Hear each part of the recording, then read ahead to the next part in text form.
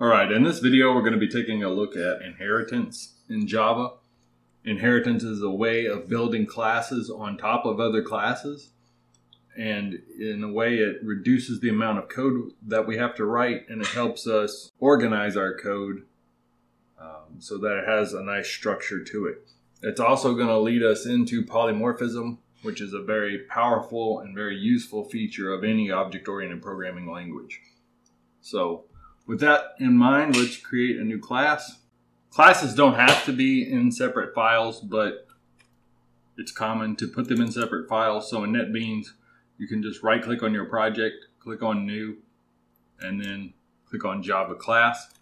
I am going to call this class item and the package I chose to call this inheritance. So I will put that right there. And it's going to give me a new file in my project that is part of the same package so that I can use it in other places in my project. So I'm going to create this class with the video game in mind, just a generic video game that uses items. And we're going to put some member variables in here and then we will look at how we can inherit those variables into other classes. So this is item, just generic item. We're going to have a name we're going to have a value.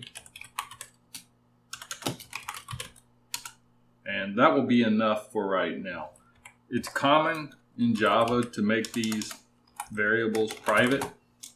You don't have to do that, but this is probably the standard convention, industry standard to make everything private and then to make getter and setter methods to access these variables. I personally don't like doing it that way, but it is the industry standard. Let's also create a constructor for our class. We'll have a default constructor that just sets some generic values for our variables. We'll just say that our name is default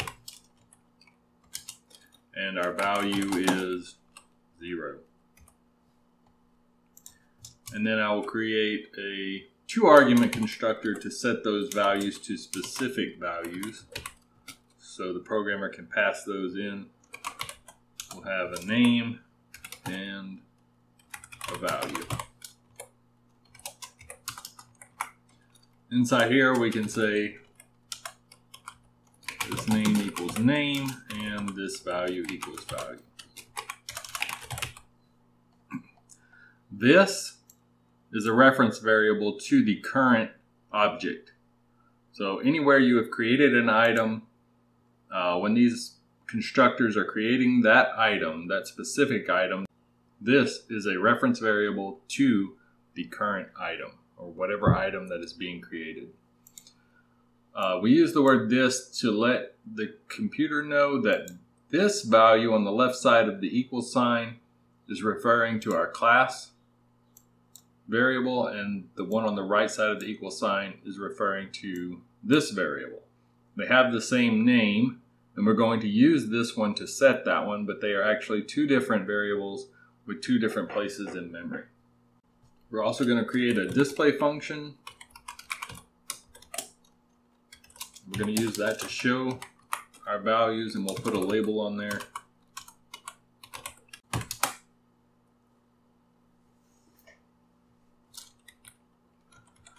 And that should be good there.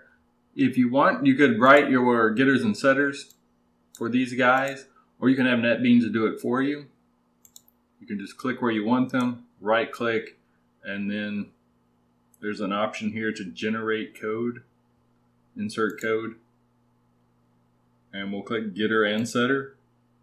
And you just click the variables that you want to generate getters and setters for, and click generate, and we'll write all those guys in there for you. Remember with classes and private variables, we're going to use a public function to access these private variables. If it's private, it can only be accessed by this class. All right, there's our generic item. And we're going to expand on that. I'm going to create another class and you could do this in a new file or you can just keep writing in the same file. To keep it simple, I'm going to keep writing in the same file. and this class will be called weapon. And I want my weapon to be an item. And that's a good rule of thumb. Anytime you're using inheritance, your subclass should be a base class. You should be able to say a weapon is an item. A apple is an item. Uh, but to implement that inheritance, we're going to write extends and then write the name of the class you want to inherit from. So class weapon extends item. And my class is automatically going to have all of these functions and all of these variables that the item class has. But weapon needs a few things of its own that are not specific to every item. They're only specific to weapon, and so we're going to add one of those, and we're going to say that is damage. I'll create two constructors here as well. We'll have our default constructor that will just set the damage to some default value. I'll set it to 1. And then we will create a three argument constructor.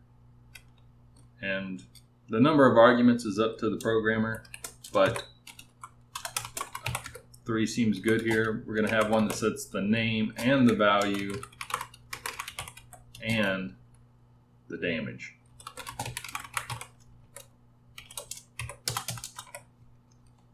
Now this is where we're going to start saving on code. I could write out everything I've written up here, and it's only two lines, but sometimes your classes can get really long and this could be several lines. But instead of writing this out here, I'm just going to call this constructor and let it write it for me. And in Java, the way you do that is to write super, and then you're going to write name and value in there. When you use the super keyword, it is a reference to your base class. It takes you up one level. So we came from item. Super is a reference to item. If you're going to use your base class constructor, super has to be the first line in your constructor. So that will take care of our name and value, and then we can set the damage the same way we did above. This damage equals damage. I'm not going to bother with the private and getter and setters. Um, I've already shown you how to do that. To keep it simple, I'm going to avoid using that from here on out. We'll add a display method here.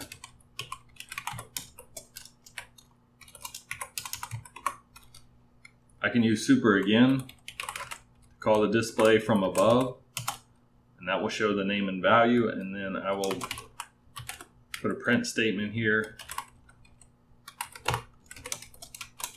And this will show the variables that are specific to this class. And so there's inheritance in a nutshell. We could add more classes. We could extend more items. We could have consumables. We could have tools. We could have armor. We could have quest items. There's all sorts of things we can extend from item. There's no limit to the number of classes that can be extended from a base class. Or we could continue ext extending from weapon if we wanted to. Let's just say I want to make a class for a sword. So class sword extends weapon. And if I wanted to, I could put specific variables for the sword, or I can just make this a, specific version of weapon. It doesn't have to have any variables of its own. It can just set up some default values so that I can create a sword and it is a weapon with preset values. So I'm just going to do it that way. I'll create my default constructor here and it's going to call the weapon constructor and I'll just put some default values in here. So we can say this is um, iron sword. It has a value of 30 and it has a damage of 10.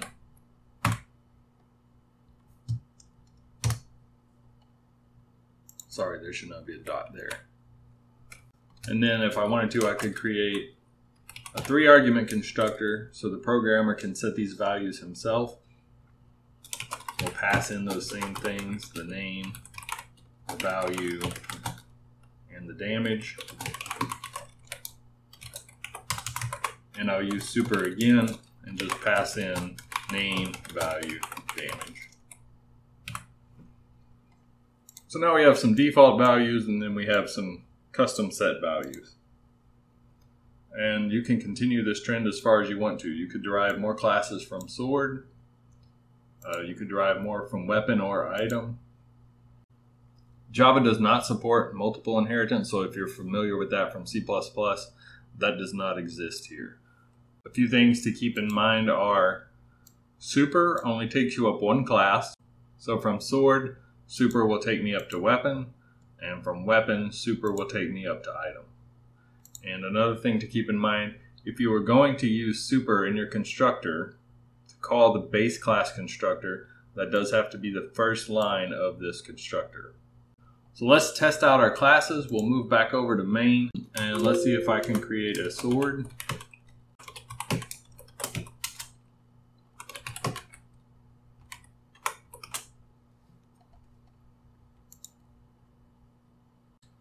And we can see that my default constructor works just fine.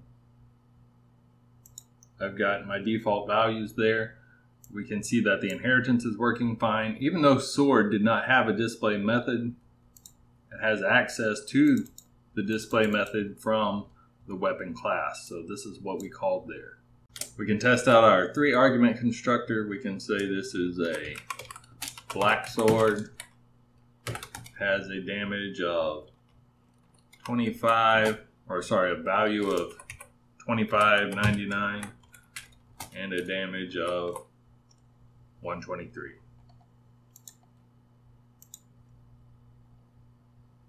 And that also works just fine. So there's inheritance in a nutshell.